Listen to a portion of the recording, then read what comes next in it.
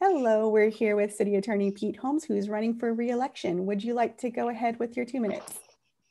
You bet. Thank you, uh, Chair Gomez. I, uh, again, appreciate your time here. This is really public service at its best. And uh, believe me, your efforts are, are not unnoticed. You know, I'm, I'm running for an unheard of fourth term, well, in recent history, certainly in Seattle.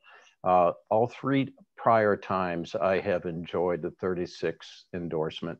And I think that it's, it's uh, one that I've been particularly proud of. It's ironic, I actually have drawn an opponent at this time who I believe is from the 36th district. I've never, never met the gentleman before, but uh, it's, it's only one of the reasons though why this endorsement is so important to me. You know, I turned 65, and as a result of that, one of the blessings is about uh, this Wednesday, I'll be three weeks out since I've had my second uh, vaccination. So, you know, the privileges of reaching 65. Uh, but I also feel that, you know, while I, I had thought about is it time to call three terms a career with the city, it's also, I think, the most important time in the city's history. Uh, I have accomplished a lot. You guys know me. You've seen me uh, you know, walk the talk and actually put into action all the things that I've said. You know my history. There's still more to do. And I think that as I uh, run for reelection, if I'm fortunate to be uh, reelected, I will be serving alongside my sixth mayor. And together we'll be looking for my seventh chief of police. We'll be negotiating a new police contract with SPOG under what will be the eighth, ninth year uh, going on of the reforms under the federal consent decree. I can't think of a time that's been more important in the city's history that we have strong, steady leadership and continuity at City Hall. Uh, at the same time, I want to I want to caution that there there are there are concerns that we might fall back into old habits, the just lock them up mentality, doubling down on the war on drugs. And I'm concerned that there's a lot of lot of forces at work, even in our wonderful city, that are not really interested in building back better. And, and we have got to make sure we bring everyone along with us. So I'm simultaneously very excited and optimistic about Seattle's ability to rebound from the rebound, pandemic. Rebound uh, I'm sorry, uh, where am I'm I sorry, on the timing? That's that's time. Sorry. Great. Okay, got it. Great. Okay, got it. All right. Um, I mean, all right. So I'm going to post question one into the chat, and uh, I have Barbara, Sherry, Alice, and then Mackenzie is the order. So Barbara, would you like to ask question one?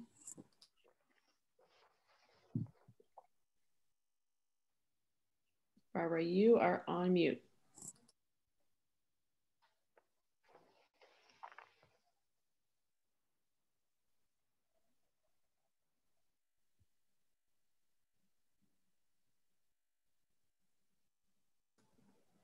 Barbara, you're muted still. All right. I, I, go, there you go. Is that better? Yes. You, okay, great. So, um, uh, Nicole, I actually am not seeing question one in the in the chat. It's um, here. Let me do it again. I see it. There you go. So uh, I'm sorry, is so question one is, um, I'm not sure that I'm going to get this right. Is it, do you support and will you advocate for ending qualified immunity for law enforcement? I'm going to give you a yes and a no. Uh, that I do support it, but I cannot advocate for it while I simultaneously have a responsibility for defending law enforcement officers who are entitled to the defense right now.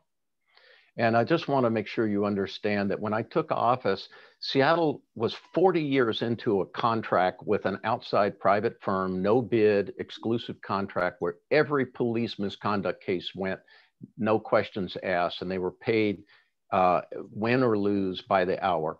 I terminated that contract and brought it in house, where we have saved the city tens of millions of dollars and learned a heck of a lot about police misconduct.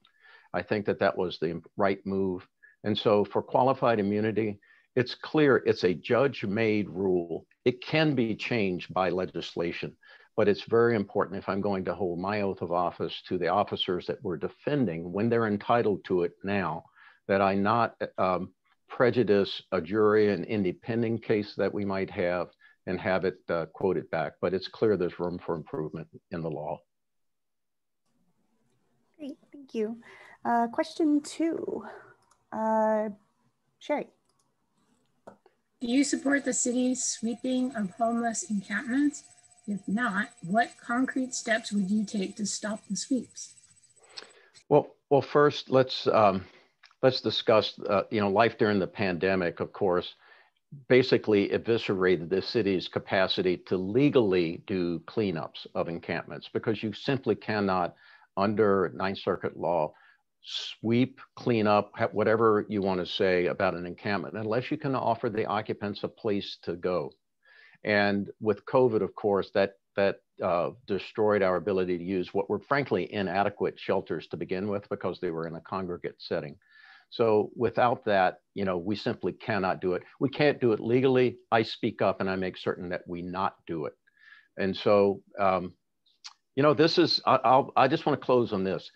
We keep talking about homelessness, just the same way we talk, we talk about low level crime, until we address the underlying causes of homelessness and some of these misdemeanor offenses that can, that there's, there's a lot of repetition and recognize that we're not going to be able to criminalize poverty we're not going to be able to criminalize mental health issues. We're not going to be able to criminalize substance abuse addiction. Until we do that and finally fund the scale, the solutions that we know do work, things like sweeping encampments are just moving a problem around and just uh, it's, it's something that we're doing to satisfy a loud political voice. It's wrong. It's just wrong. I'm going to speak up whenever it's not legal, but you know, at the end of the day, the mayor and the council have to make decisions about how they're going to execute these policies. Great, thank you. Uh, question number three, we have uh, Alice. Uh, yeah. Should the city change its approach to prosecuting misdemeanor offenses? Will you file charges for drug possession? Yes and no. Uh, so let's just be very clear on that. When I first ran, uh, taking the last question first back in 2009, I said I would never file another marijuana possession case. And I didn't. And I dismissed everyone that we had. Uh, people were shocked that I actually did what I said I was going to do, but I can promise you I will not file any drug possession cases. I don't fault the legislature, by the way, for not enacting the complete solution to the to the failed war on drugs given the fact that the Supreme Court ruled in the Blake decision in mid-session, and it just simply wasn't time. But I'm committed to making sure over the next two years we work on it. And yes, the city absolutely should change its approach to prosecuting misdemeanor crime. That's why I didn't shy away from the debate when we had the, the bill proposed by the Office of Public Defense to, uh, to create a necessity defense. Uh, it, they're absolutely talking about the right problems, the right questions. Why do we want to pretend that criminalizing poverty, substance abuse addiction, and mental health issues is the way to go? It's wrongheaded, it's bad law, it's bad policy. How about that? It works. Uh, question number four. Uh, let's see here. We have Mackenzie. Great. Uh, do you support ranked choice voting for Seattle's elections? And what would you do to make ranked choice voting a reality in Seattle? I'm certainly interested in it. I'll, I'll confess, I don't know a lot of, I mean, I know what's involved about, you know, voting several times so you don't have to worry about a runoff or about, you know, the, the uh, a tight election. Um, and, uh, you know, I, I think it I think it's an innovative idea, much like our democracy voucher program. I think that it's something we should look at. Um, I would pledge to absolutely support uh, studying it, uh, finding out on the council who would be interested in sponsoring a bill. I think we absolutely should look at it. Great, thank you. And so now we'll open it up to follow-up questions and the responses to these are a minute apiece. Um, and I will ask board members to raise their hand if they have a follow-up question. Could I just ask Nicole how I'm doing on time? I'm so Oh, I, I'm trying sure, hard to follow time, Oh. and I hope I'm not You- eviscerating your. You've been great on all of the the two minute responses. You've been um, early. Yeah, and we have 10 minutes left. So Sarah, go ahead with your first question.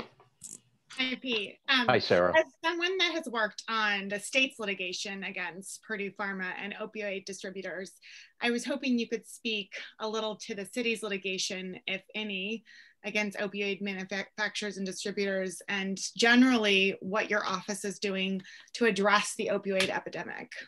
You bet.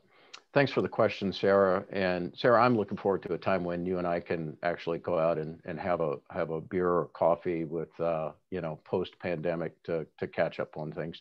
But Me uh, let me Uh, you know, just in the last two weeks, I've talked with uh, Attorney General Ferguson, uh, your boss, about that, um, uh, and about what uh, whether we should entertain seriously the Purdue Pharma uh, settlement offer.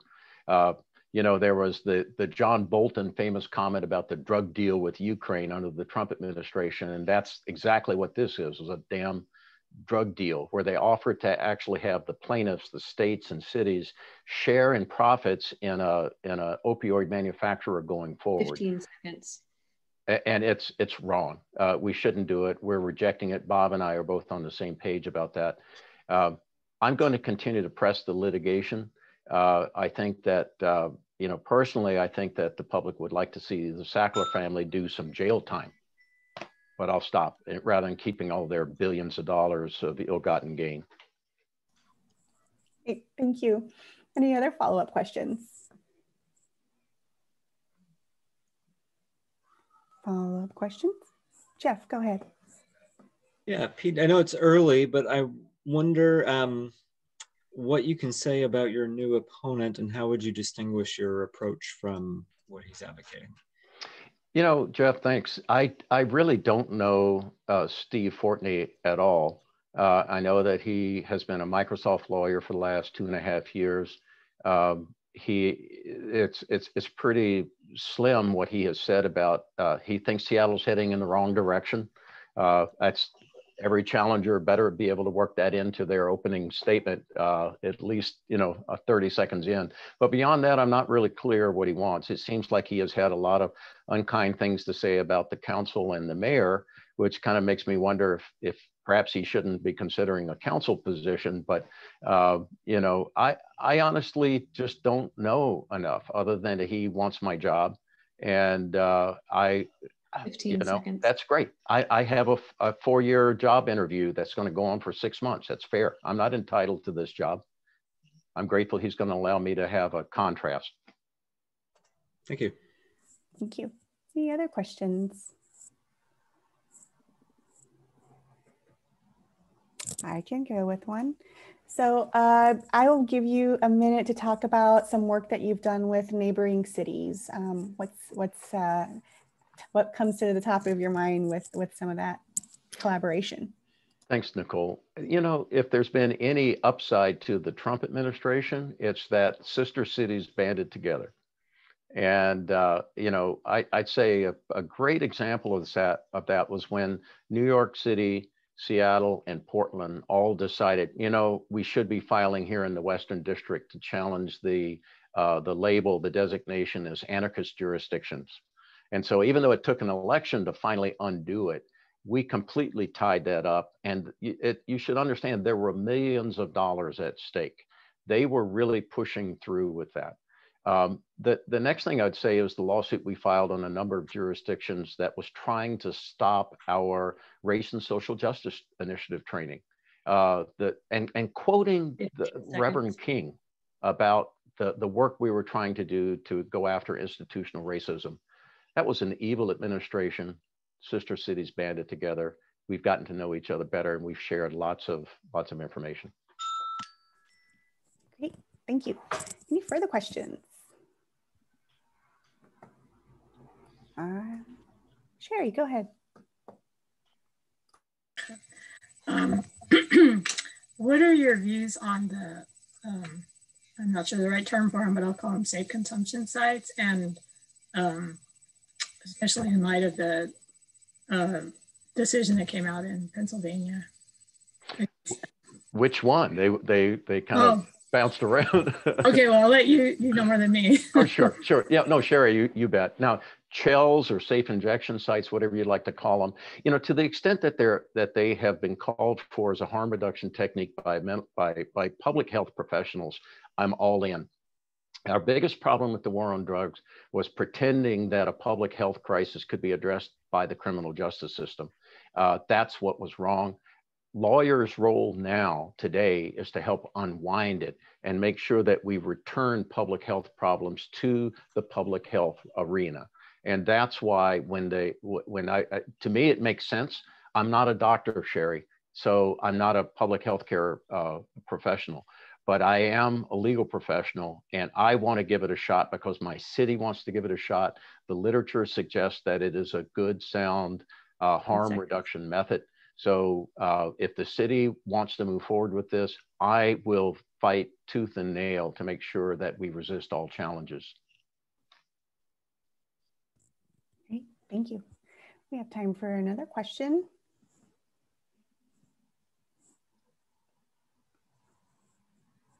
All right, I would, I have one. So, um, throughout your time as city attorney, what would you, um, what are you most proud of um, uh, that you've done? You know, today I submitted my uh, UCFW, UFCW uh, questionnaire and they asked me to list 10 things and it was fun to kind of go at it in chronological order. But, you know, I, I think the, the, the main thing I want to I want to touch on is what has happened in this last term. Um, it's one thing to come in and say you're not going to prosecute marijuana cases anymore. It's another thing to you know stand in front of a microphone, and, and proclaim you're a sponsor of an initiative to legalize marijuana. But when you lead an office where everyone from in the trenches is stepping forward with new ideas, that's when you know you've provided the kind of leadership your department needs.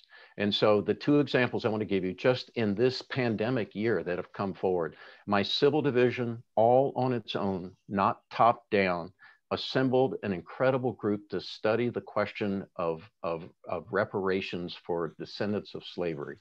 And they have now put on a program and assembled literature that is qualifies for an hour and a half of, of legal credit uh, continuing legal credit for lawyers. It is amazing. I challenge you not to get through it without crying. Uh, the other thing is on the criminal division. We've been trying to figure out how do we identify, you know, when you see a case, damn, all the elements are there. We could file that case, but something's not right. Why did this officer have six OPA cases for the same thing of pulling over someone that looks like it was driving while black? Can we put together uh, a, a panel, a review board, not just of lawyers, but of case prep workers, paralegals, legal assistants, and the prosecutors to say, I got this case, it's ready to be filed, but something doesn't look right. And they proposed it to me as a way to exercise prosecutorial discretion. And I said, I, I teared up. I said, guys, I didn't ask them to do this. They put it together themselves. They put in hundreds of hours of time researching it, put together a charter. What do you think, Pete? I'm sorry, but that's when a leader is leaving the right mark, when it's spontaneous, it's organic, it's coming up. And I've never been so proud of my civil and criminal divisions pulling together. So I'm sorry, I'm going to tear up now, but that's what I'm proud of. Marijuana legalization, the uh, 365 day sentences, all of that this this is when now they're they got it they're public servants they're servant leaders and they want to make the world a better place thank you so much I would have cut you off but you're so passionate about it that i, I know. i would have given I would have given another minute for that one. I know, All right. exactly I, I apologize. I got to say the, the the warning is a little bit subtle, and I've missed it. Yeah, I that's I don't mean to be That's okay. disrespectful of your time. That's okay. no no I would have just given you an extra minute to finish that thought anyway. Well, I grew up in the 37th district, you know, and they used a cowbell to cut you off there. there was Summer, I'm really sorry, but we're at uh, almost at time. So uh, would you like to go ahead with your uh, one minute wrap up, Pete? You bet. I'll, I'll keep it very brief. Uh, again, I, I, said I'm coming for this fourth term as a calling. Uh, I, there, there are other things that I have, other interests that I have, but I love this city. My work's not done. And uh, I am anxious to make sure that a new mayor, a new police chief, and the like, not to mention the fact that whoever fills uh, Lorena Gonzalez's seat, now that she's stepped aside to run for mayor, that'll be my 30th council member. and I've got to make sure that we that we hand over the reins. I, am I, I'm not needed. I'm not uh, irreplaceable by any stretch, but I do think at this moment in time, I think that I have a lot to offer this city as it regains ground and builds back better. That's what I want to do. Great. Thank you so much.